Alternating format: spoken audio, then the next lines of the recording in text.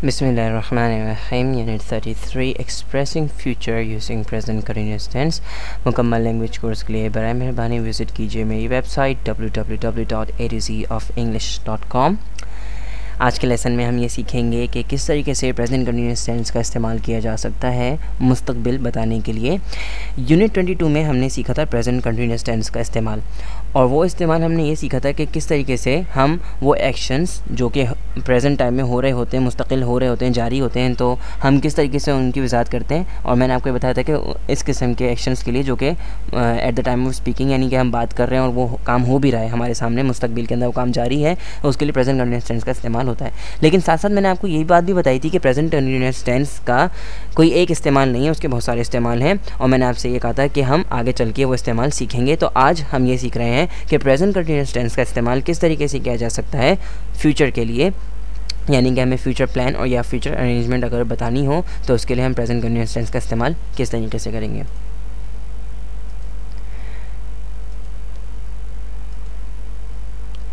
तो जैसे कि मैंने आपको बताया कि प्रेजेंट कंटिन्यूस टेंस का इस्तेमाल किया जा सकता है फ्यूचर अरेंजमेंट्स के लिए और फ्यूचर प्लान्स के लिए। इससे पहले का जो यूनिट था यूनिट 32 उसके अंदर हमने सीखा था विल का इस्तेमाल कि विल किस तरीके से मुस्तबिल को ज़ाहिर करता है। आज हम ये सीख रहे हैं प्रेजेंट कंटिन्यूस टेंस किस तरीके से फ्यूचर अरेंजमेंट और फ्यूचर प्लान को ज़ाहिर करता है। कुछ मिसालों पर नज़र डालेंगे। I will go to London tomorrow action will take place tomorrow I will go to London tomorrow मैं कल लंदन जाऊँगा। तो ये काम कब होगा? कल होगा।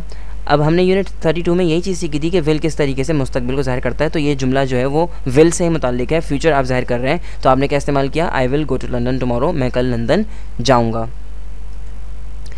I am going to London tomorrow action will take place tomorrow so I am going to London tomorrow मैं कल और जा रहा हूँ। सो so, ये काम कब होगा? ये काम कल होगा action will take place tomorrow तो दोनों जुमले क्या ज़ाहिर कर रहे हैं? मुस्तबिल को ज़ाहिर कर रहे हैं। लेकिन दोनों जुमलों में फ़र्क है। एक जुमला जो है वो विल का है और दूसरा जुमला जो है वो किसका है? प्रेजेंट कंटिन्यूस टेंस का है। तो I will go to London tomorrow मैं कल लंदन जाऊँगा, या I am going to London tomorrow मैं कल लंदन जा रहा हूँ। दोनों का मतलब एक ही है। यानी कि दोनों में कोई फ़र्क नहीं है। सिर्फ़ दोनों में स्ट्रक्चर का फ़र्क है। एक जो है वो विल के ज़रिए जुमला बनाया गया और दूसरा जो है वो क्या है? प्रेजेंट कंटिन्यूस टेंस के ज़रिए जुमला बनाया गया है। सो विल भी मुस्तबिल को ज़ाहिर कर रहा है। और यहाँ पर आप देख रहे हैं कि I am going to London tomorrow का मतलब ये नहीं कि मैं भी लंदन जा रहा हूँ। जब मैं जुमला कहता हूँ कि I am going to London tomorrow तो इसका मतलब यह है कि मैं कल लंदन जा रहा हूँ। अब दोनों में साख्त का फ़र्क है, जुमले की बनावट में फ़र्क है। I will go to London tomorrow का मतलब है मैं कल मैं कल लंदन जाऊँगा। I am going to London tomorrow का मतलब है मैं कल लंदन जा रहा हूँ। तो लेकिन मकसद दोनों का एक ही है। दोनों के दोनों मुस्तबिल के प्लान को ज़ाहिर कर रहे हैं फ्यूचर प्लान को ज़ाहिर कर रहे हैं। तो जहन में रखें कि विल की तरह बिल्कुल इसी तरीके से प्रेजेंट कंटिन्यूस टेंस भी इस्तेमाल किया जा सकता है फ्यूचर प्लान या फ्यूचर अरेंजमेंट के लिए। कुछ मजीद मिसालों पर नज़र डालते हैं।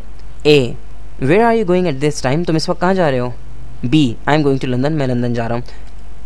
Present continuous sentence showing action happening at the time of speaking so A B से क्या पूछ रहा है भाई? इस वक्त तुम कहाँ जा रहे हो? बी कह रहा है कि भाई मैं लंदन जा रहा हूँ। तो जब ये बी कह रहा है I am going to London यहाँ पर इसका क्या मतलब है कि प्रेजेंट कंटिन्यूस सेंटेंस तो है, लेकिन ये प्रेजेंट कंटिन्यूस टेंस कौन सा वक्त ज़ाहिर कर रहा है? प्रेजेंट को ही ज़ाहिर कर रहा है कि ये बंदा at the time of speaking जब इसने ये जुमला बोला है कि I am going to London इसका मतलब ये इसी वक्त जा रहा है। जब ये जुमला कह रहा है कि I am going to London तो ये इस वक्त लंदन वाकई इस वक्त जा रहा है। तो ए जो इससे जुमला पूछ रहा है कि भाई तुम इस वक्त कहाँ जा रहे हो? Where are you going at this time तुम इस वक्त कहाँ जा रहे हो?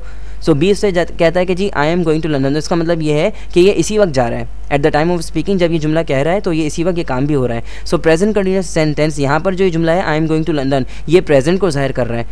अब दूसरी मिसाल पर नज़र डालते हैं.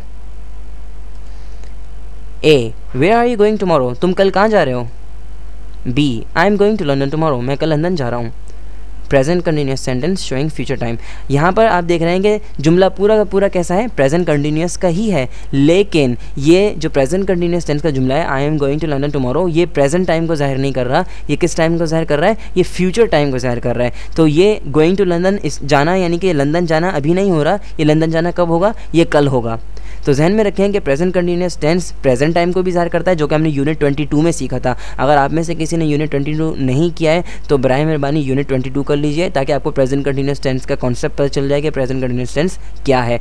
आज जो हम सीख रहे हैं, वो हम ये देख रहे हैं कि प्रेजेंट कंटिन्यूस टेंस को किस तरीके से फ्यूचर के लिए इस्तेमाल किया जाता है। तो आप देख सकते हैं कि I am going to London tomorrow ये किसको ज़ाहिर कर रहा है? मुस्तकबिल को ज़ाहिर कर रहा है। प्रेजेंट को ज़ाहिर नहीं कर रहा। तो ये बात बहुत वाजह हो गई कि विल जिस तरीके से मुस्तकबिल को ज़ाहिर कर सकता है, इसी तरीके से प्रेजेंट कंटिन्यूस टेंस भी फ्यूचर प्लान और फ्यूचर अरेंजमेंट के लिए इस्तेमाल किया जा सकता है। मवाजना करेंगे हम अब कुछ सेंटेंसेस का। I will buy a new car this week मैं इस हफ़्ते नई गाड़ी ख़रीदूँगा। बराबर है। I am buying a new car this week मैं इस हफ़्ते नई गाड़ी ख़रीद रहा हूँ। तो I will buy a new car this week और I am buying a new car this week ये दोनों के दोनों जुमले एक ही हैं, लेकिन इनकी स्ट्रक्चर में फ़र्क है। एक जुमला जो है, एक जुमले में आप विल इस्तेमाल कर रहे हैं, यानी कि I will buy a new car this week ये मेरा अरेंज मेरा प्लान है, यानी कि इस हफ़्ते मैं एक नई गाड़ी ख़रीदूँगा। तो ये मैंने इसके लिए विल इस्तेमाल करिया, कर लिया। इसके अलावा मैं प्रेजेंट कंटिन्यूस सेंटेंस भी इस्तेमाल कर सकता हूँ। मैं ऐसे भी बोल सकता हूँ कि I am buying a new car this week इस हफ़्ते मैं नई गाड़ी खरीद रहा हूँ। जब मैं ये जुमला कहता हूँ कि I am buying a new car this week मैं इस हफ़्ते नई गाड़ी खरीद रहा हूँ। क्या मैं बोलते वक्त काम कर रहा हूँ क्या? क्या मैं इसी वक्त, अभी प्रेजेंट टाइम में गाड़ी खरीद रहा हूँ? नहीं। मैं आपको अगले हफ़्ते, यानी कि इस हफ़्ते की बात कर रहा हूँ कि मैं इस हफ़्ते गाड़ी खरीद रहा हूँ। लेकिन at the time of speaking बोलते वक्त मैं काम नहीं कर रहा। मैं बोलते वक्त गाड़ी नहीं खरीद रहा। तो प्रेजेंट कंटिन्यूस सेंटेंस तो है I am buying a new car this speak ये जुमला तो प्रेजेंट कंटिन्यूस टेंस का ही नज़र आ रहा है और है भी प्रेजेंट कंटिन्यूस टेंस का ही है ये जुमला, लेकिन ये इस वक्त प्रेजेंट टाइम ज़ाहिर नहीं कर रहा, ये इस वक्त फ्यूचर टाइम ज़ाहिर कर रहा है। She will attend the party tomorrow वो कल पार्टी जो है अटेंड करेगी। बराबर है किसके?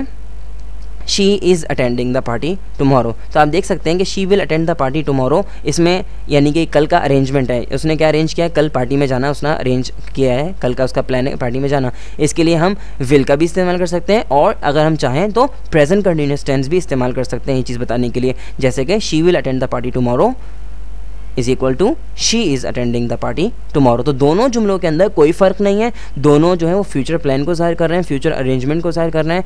लेकिन दोनों की साख्त में, बनावट में फ़र्क है। एक जुमले में आप विल का इस्तेमाल कर रहे हैं और दूसरे जुमले में आप प्रेजेंट कंटिन्यूस टेंस का इस्तेमाल कर रहे हैं। तो अगर कोई शख्स विल का इस्तेमाल करता है और दूसरा शख्स जो है उसी बात के लिए प्रेजेंट कंटिन्यूस टेंस का इस्तेमाल करता है तो दोनों एक दूसरे को ये नहीं कह सकते कि तुम गलत हो। दोनों ही अपनी जगह पर सही हैं। ये आपकी मर्ज़ी है, बंदे की मर्ज़ी है कि वो विल का इस्तेमाल करें या प्रेजेंट कंटिन्यूस टेंस का इस्तेमाल करें। और आज के सबक में इतना ही। अगर आपको मेरी वीडियो पसंद आई, ये ट्यूटोरियल पसंद आया तो बर मेहरबानी, ज़रूर रेट कीजिएगा मेरी वीडियो को। और ये लेक्चर करने के बाद ज़रूर ज़रूर मेरी वेबसाइट विज़िट कीजिए और एक्सरसाइज ज़रूर सॉल्व कीजिएगा कि लेक्चर ही सिर्फ़ काफ़ी नहीं होता एक्सरसाइज सॉल्व करना नहायत ज़रूरी होती है ताकि पता चले आपको कि आपको ये ट्यूटोरियल कितना समझ में आया। महज ये लेक्चर सुन लेना आपके लिए काफ़ी नहीं है। आप ये समझेंगे, मैंने लेक्चर सुन लिया, अब बस मुझे अंग्रेज़ी बोलनी आ गई फरफर अंग्रेज़ी में बोल लूँगा तो ऐसा तो हरगिज़ नहीं हो सकता है। मश्क इंतहाई ज़रूरी है प्रैक्टिकल इंतहाई ज़रूरी है, और एक्सरसाइज सॉल्व करना बहुत ज़्यादा ज़रूरी ताकि आपको आपको कॉन्फिडेंस हासिल हो कि भाई हाँ मुझे ये चीज़ आती है। और फिर आप खुद अंदाज़ा लगा सकते हैं कि जब आपकी गलतियाँ आपके सामने आएँगी तो आप खुद अंदाज़ा लगा सकते हैं कि आपको ट्यूटोरियल कितना समझ में आया। तो ज़रूर ज़रूर विज़िट कीजिएगा मेरी वेबसाइट कॉम और मैं हूँ फैसल समीउल्ला इन आपसे अगले ट्यूटोरियल में बहुत जल्द मुलाकात होगी और मैं कोशिश करूँगा कि जल्द अज जल्द जो है एक और नया ट्यूटोरियल अपलोड कर दूँ। और तब तक के लिए अल्लाह हाफिज़।